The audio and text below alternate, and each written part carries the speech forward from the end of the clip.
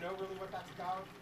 We are now running the world's only captive breeding program for the world's only endangered sea star, which is the sunflower star, uh, scientific name Pycnopodia helianthoides.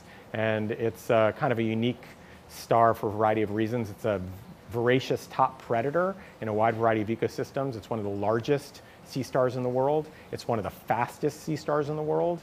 Like when you think of sea stars sitting there attached to a rock and not doing much, like these are very, very mobile and very active. It so happens that when the sunflower stars started to disappear, causing them to be listed as endangered, it was caused by a disease.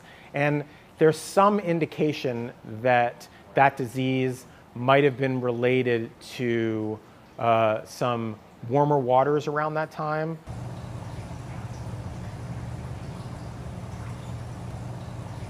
Uh, uh,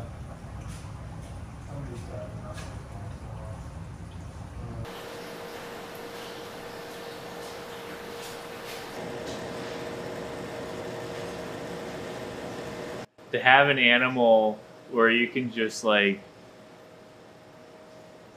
do something and have them do the behavior in response is amazing.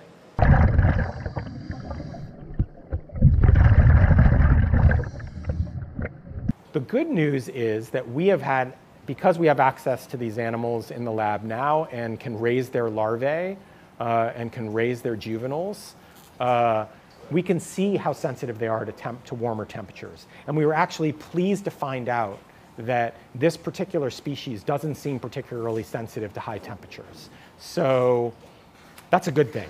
You know, if sunflower stars are going to recover in the wild with or without human assistance, they're going to be doing so in a changing climate. Club 1.5 centimeters to 2 centimeters.